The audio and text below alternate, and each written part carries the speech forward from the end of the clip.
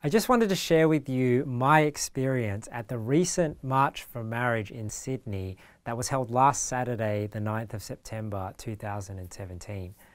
So the day started out with a few of our church members meeting at my house in the morning to make our signs.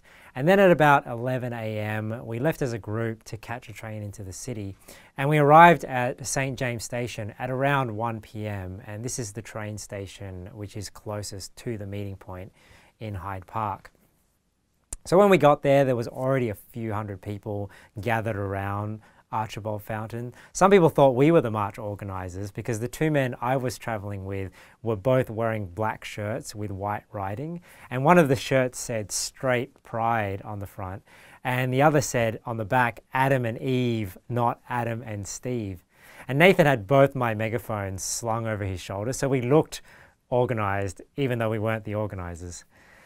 So our group got to work, you know, getting our signs assembled, and I got all my recording equipment set up and ready.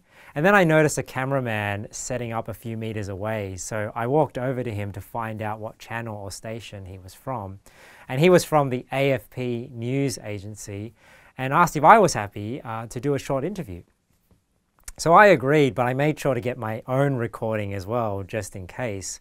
And I'll put a link to the interview on the end screen so you can listen to the whole conversation. The journalist was personally in support of the rede redefinition of marriage, so I thought I'd throw a few questions at him as well to see how he would respond. Uh, my interview didn't make it into the final cut, and it was only reported uh, in their video that only a few hundred attended when in reality it was closer to a thousand, you know, possibly more. I have a recording of the whole group of marches from beginning to end, so I'll let you count and you can let me know your estimate in the comments below. Now, after the interview was over, the area was starting to get really crowded and the walkways through the park were being blocked. So the police were starting to get concerned and they asked the marshals to start preparing the crowd. And I was actually asked to help announce over the megaphone. So we lined everyone up on the path that leads to the entrance of St. James Station. Uh, the route had already been planned out, so we just had to follow the police escort. Now, as we were walking down Elizabeth Street, I remember looking back and thinking how big the crowd was because we were halfway down Elizabeth Street and the crowd still stretched down the road and up the path toward Archibald Fountain where we had originally met. And I was really only expecting a few hundred people to show up since most people would have only had about one week's notice. Oh man, look how many people there are. All right. To give a bit of background, the march was organised in a very short period of time and only began advertising about two weeks prior to the date on a very limited budget. Now, I tried to help where I could to get the word out by making my own promotional video, but some of the other larger online pro-marriage groups only caught wind of the event and shared the details on their pages uh, a day or two before. So as we marched, uh, some people sang, others chanted and others just walked along smiling. You know, I decided to share some of my own views on the topic as I was marching. So over a megaphone, I was uh, explaining why the common arguments we hear to redefine marriage are not sound and why marriage is only for one man and one woman.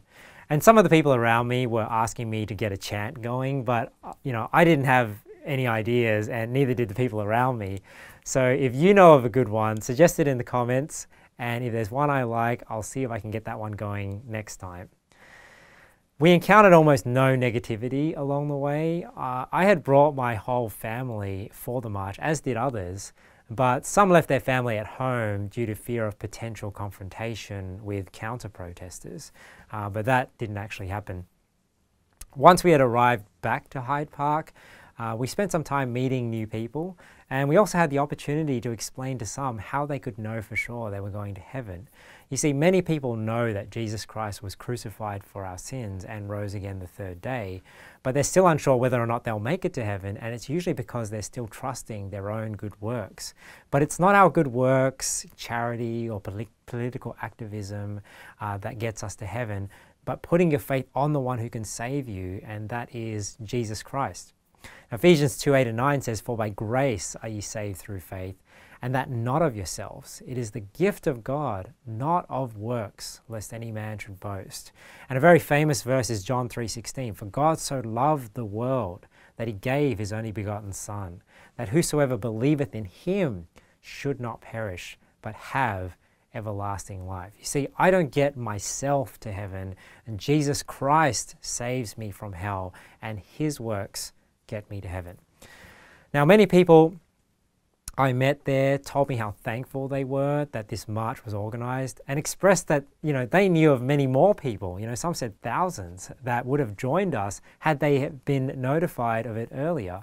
So there may be another march organized in the near future, but with the postal votes already hitting homes last week, it might be better to wait and see until after the postal survey results come out on the 15th of November and then decide on a date so let me know in the comments when you think the next march should be and I can pass that feedback on to Philippa.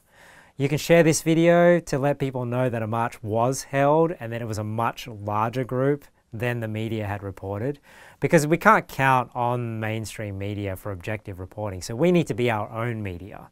So make sure you are sharing posts, articles, websites, and videos like this one on social media to help get the word out.